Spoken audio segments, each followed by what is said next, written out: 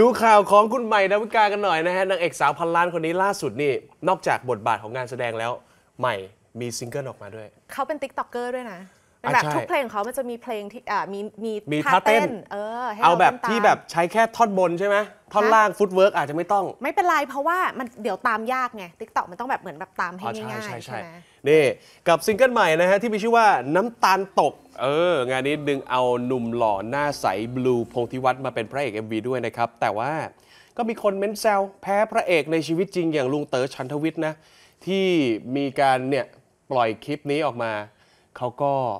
คลิปลุงเต๋อน่ารักที่ลงไอจีใช่ไหมเออเอ็นดู ส่วนเมื่อกี้นี่คือบลูพงษ์ธิวัฒน์ใช่ไหม Blue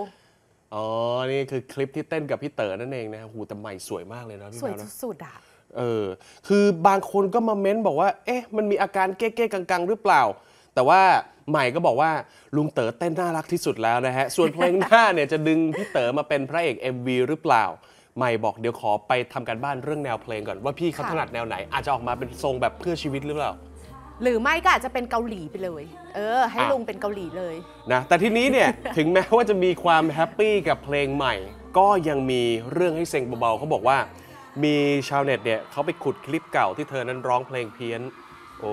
ก็คือปล่อยซิงเกิลใหม่ แต่ดันไปดูคลิปคลิปเก่าเก่าๆ คือคลิปเก่าเนี่ยมันอาจจะเป็นคลิปเมื่อนานมาแล้วสมัยที่ยังไม่ได้แบบไปจริงจังด้านการร้องหรือเปล่าอะไรแบบนี้นะครับใหม่ก็บอกว่าไม่ได้บั่นทอนในเรื่องของการร้องเพลงแน่นอน เพราะว่ารู้ดี ตัวเองไม่ใช่นักร้องค่ะส่วนงานอินเตอร์เดินสายแฟชั่นโชว์ในต่างประเทศเนี่ยเจ้าตัวก็บอกว่าต้องเดินทางบ่อย เพราะว่า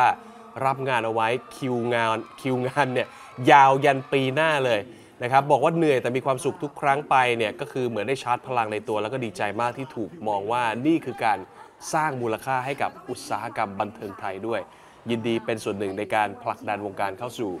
อ่าเขาเรียกว่าอะไรระกดัระบแสโลกใช่ไหมระดับโลกอืมนั่นเอง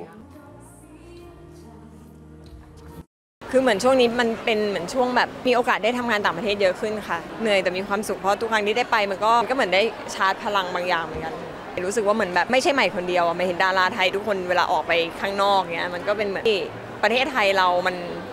มันมีกระแสมากขึ้น คือพี่เต๋อเขาเป็นคนบอกเลยว่าเขาจะไม่เต้นแล้วเขาก็จะไม่ทำอะไรแล้วหนูจะเกรงใจมาก แต่พอ เพลงสี่เนี่ยมันเป็นเพลงติ๊กต็อกจริงๆอะค่ะทุกคนแล้วมันก็มันต้องพึ่งบารมีพี่เต๋อแล้วอะเพราะว่าพี่เต๋อเป็นนักเต้นเป็นพระเอกในชีวิตจริงก็พอ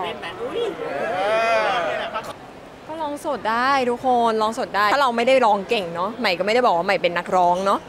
ใหม่เป็นดาราที่มาร้องเพลง แล้วก็ถ้าเราไม่ได้ยินเสียงตัวเองในหูอะมันจะเกิดการตะโกนแล้วถ้าเราอะไม่ได้ร้องมาตลอดชีวิต เราไม่ได้แข็งแรงเสียงเราก็สั่นมันก็เป็นเรื่องปกติ ดังนั้นหนูว่าคนที่มาแชร์หนูว่าจุดประสงค์คืออะไร แต่แค่จะบอกว่ามันไม่ได้บั่นทอนอะไรใหม่เลย แล้วใหม่ก็ไม่สนใจ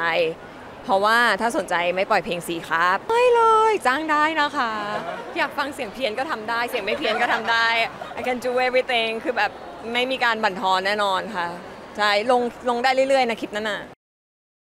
ติดตาม PPTV HD 36 ได้ทุกช่องทาง และอย่าลืมกด Subscribe พร้อมกดกระดิ่งแจ้งเตือนด้วยนะครับ จะได้ไม่พลาดข่าวสารและคอนเทนต์ดี ๆ อีกมากมาย